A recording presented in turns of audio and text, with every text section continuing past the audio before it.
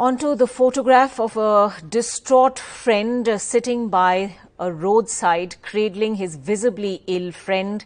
A 24-year-old migrant worker's photograph has gone viral. Amrit, who was dumped on the roadside by fellow travellers in Madhya Pradesh's Shivpuri district after falling sick, um, died while undergoing treatment at a district hospital.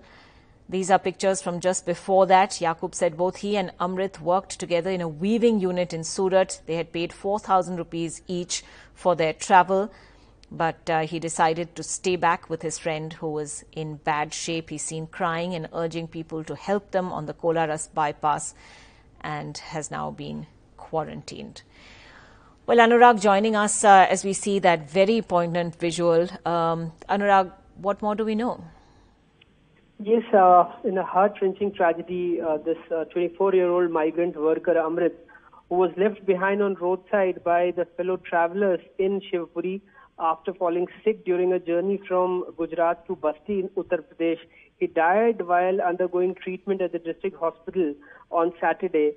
And you can see in those pictures his friend Yaqub sat cradling in his lap, calling out to the passerby for help, but nobody stopped a lo- local resident who organized 108 ambulance services took them to the district hospital uh, in Shivpuri, uh, where he died during his treatment. Uh, both of them worked in a garment factory in Surat and decided to return to UP after lo- uh, losing their jobs in the lockdown. They paid 4,000 rupees for a standing space in the back of a truck and set off with a large group via Nasik and Indore. Uh, and uh, the uh, uh, uh Mr. Khare, who is the doctor, who is a uh, civil surgeon at the district hospital, has said that Amrit had high fever and was also vomiting. the symptoms are were of severe heat-led complications. but you know the, his COVID-19 test reports were also awaited. Meanwhile, Yaqub, his friend, has been quarantined in the isolation ward of the district hospital, and his test results are also pending.